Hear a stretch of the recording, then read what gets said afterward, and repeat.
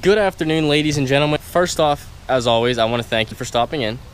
Second off, I want to commend you for stopping in because judging by the title, you can see this is a how-to video. So if you're stopping in for a how-to video, clearly you have some degree of interest in doing your own work, and I commend you for that one. Today is going to be wrapping the bumper that was down there. For those that have a Chevy in this kind of body style, I want to show you what pieces were in the bumper that I had to take out just to get to the actual bumper itself. Here, basically the structural integrity of the bumper. Fog lights come in there. This is my parking sensor, one, two, big wiring harness, and then the other half of the structural integrity of the bumper. And then down here, we had our plastic valence that I have already trimmed, as you can see here, just kind of a rough deal. I knew from about like two weeks into having this truck, I wasn't gonna keep that bumper. So I've kind of been experimenting with my bumper at my expense for your viewing pleasure, I guess. I chopped it up to see how it would look. Wasn't too bad. And the other half would be the middle piece, which has a parking sensor, parking sensor, and held in by about 95 clips. These big bolts right here would hold in the uh, two mounts right there. These little guys held in all the plastic pieces. These are some new tabs I've never seen on a GM vehicle till now. And the way they work is they'll slide into like this, just kind of pop right in, and then you gotta pull them out. The little tab will bite onto it. Honestly, it was kind of neat. I'm used to those little, the ones where you have to pop the pin out and then pull it out. You guys know what I'm talking about. Those are kind of a pain, but those weren't too bad, and I was kind of impressed by them. So anyways, let's get into actually wrapping the bumper, the reason you came here. This will apply for pretty much any vehicle. I had yet to see a video on YouTube of a guy wrapping the front bumper of one of these newer ones. So I wanted to put it out there for you guys. Tools you'll need. First off, the vinyl. I went with a pretty stupidly large sheet. It was like a 25 feet long by 5 feet in width. And that was way too... I probably could have four bumpers with that thing, to be honest. So, figure about a quarter of that is about what you'll need. And uh, I went with some quality stuff. It's called 3M's 1080 vinyl. That's a quality vinyl to use for like uh, automotive is commonly what it's used for. I believe that's its intended purpose. And second off, heat gun. Do not i had to go and buy this. Do not try and uh, do it without a heat gun because using that gun it makes it like a completely different material to work with. As soon as you start heating it up it's like just conforms around anything you'll need it to. But there's a delicate balance. I found out that i can't heat it too long and i ripped it in one spot. Other than that though it's pretty easy to work with. I'll show you guys what i've started with here. Obviously this is where the plastic piece goes. That one so it would be like pretty much right here. We'll never see anything past like right there. So what this looks like I really there can be as many wrinkles as I want there. It doesn't matter. It'll be covered up. Parking sensor went right there. Fog light went right there. And overall I'm pretty happy with it. Like again down here this will all be covered. Nothing to worry about there but this is what I was concerned about right here I thought it was gonna be wrinkle city going the whole way through here pulling it and all that stuff and just like pull up and down and up and down and heating it and all that It came out pretty good. I'm gonna show you guys on that side how exactly I'm doing it. To get to this point to get you up to speed, basically what I did for this, I had one person holding it right here. Then I had another person right here pulling it tight, the sheet on both ends. Can't do it with like one hand, but you can picture me grabbing two corners, them grabbing two corners, and then one person runs through the middle, pulls off the underlying protection that keeps the adhesive from touching anything. So basically peel that off. And then you're gonna wanna both pull away from each other and then drop it down. And then just kind of like tuck it down and in, like over here. You can kind of picture me holding this like right here and then pulling it down and in. And you at least get like the most of it right there. But you're gonna end up peeling it up anyways to work all your bubbles out. The reason I'm doing this is I'm only gonna have this set up for like three weeks and the main main reason is I'm to be going to Myrtle Beach from Pennsylvania so it's a pretty long road trip so if there's any guys in Myrtle Beach are to be there soon if you want to check out the truck at all anyways I didn't want to drive down there with a chrome front bumper it absolutely just drove me insane I wanted something that was going to be clean on the whole front end. I wanted to run a white front bumper. I didn't want to have to pay for the cost of getting it painted. To be able to drive it for three or four weeks. I figured hey it's a good experiment. If I don't really like it or it doesn't come out that great. A, I only spent less than the gun was like 20 bucks. And let's say if you actually use the right amount of vinyl $50 in vinyl so $70 really not that bad for just completely whiting it out is it going to be a perfect match? No that's the thing about vinyl. This white is just a generic universal white.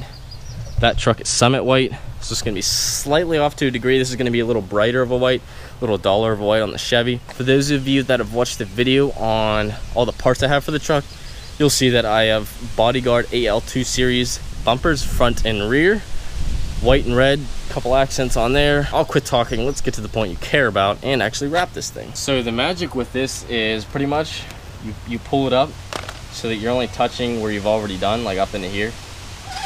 And give it a little bit of heat. But don't sit don't just sit there like this for too long because then it'll just heat up the vinyl too much and you'll tear it. But anyways give it a little bit of heat. And then work your way what i found best work your way from the back and down if you just throw it over you're gonna have air bubbles everywhere so keep it up work your way down and in all that air comes to the bottom and if you do screw it up like this right here and you're like oh shit we have an air bubble pull it up a little bit till that air can escape and then grab it and work your way down with it Another example is right here. I, I didn't push on that far enough. So I'm gonna have to go back up, wait till it catches that air pocket. There it did. And then run it down.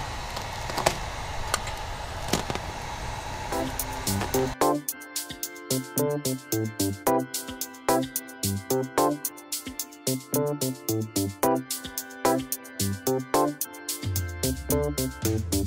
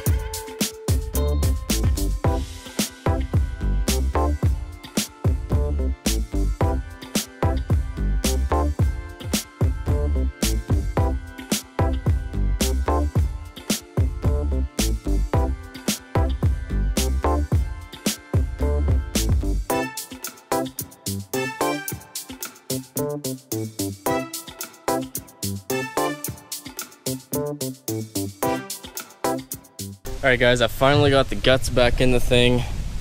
All these bolts here kind of mounted it in place.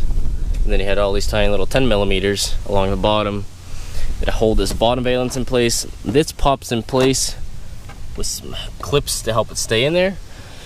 And the final product, I'm actually uh, pretty happy with.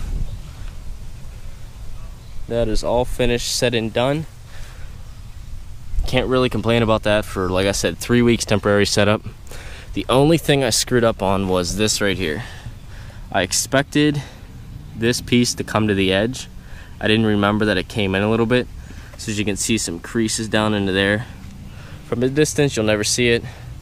Like two inches away, you'll see it right in there. But overall, like I said, really happy. Top came out good and it'll be on the truck pretty soon. So what would I do for next time? Definitely invest in a squeegee. I used my hands and I got little blisters everywhere. You'd save a lot of time with the squeegee just because you'd be able to get a larger surface area rather than just a little finger one by one. So overall, not a bad job. Like I said, temporary setup three weeks, which brings me to my next point, which is July 3rd. That's the day that it is going into the shop. So for everyone asking, that's finally when it's gonna happen. And then from there, it'll be three weeks to get it all done between painting everything, powder coating everything, and getting it out of the shop. Three weeks said and done. So guys, overall on this project, I would say try it if you're even thinking about it. But first thing I would do is try it on something that you're not really gonna care about. Give it like a little practice run. Just five minutes of working with the material gives you a lot better understanding of how well you can squeegee it, how much you can heat it, how much you can pull it, just kind of stuff like that without ripping it. Luckily, where I ripped mine, you can't really see it right up in here. But I heated it way too much and pulled it. It was the first spot I did, so that was definitely a screw up there. Unfortunately, you're not gonna be able to see the bumper go on, but Right now we're working on stuff underneath the engine, up pipes, down pipe, and a manifold. And to do that, we're kind of climbing up and over the engine here. So I don't really want to put the new bumper on there, get it all scraped up. On a side note though, we have a second project we're working on and it's kind of going to be on the channel later on. We're going to be doing exhaust on it. Definitely MBRP. That's all we'll pretty much run around here. And this is the truck we'll be working on. It is a 2006 LBZ. So far, pretty much just painted plastics, uh, tinted taillights, wheels, tires, tint, all the good stuff to keep it nice and clean.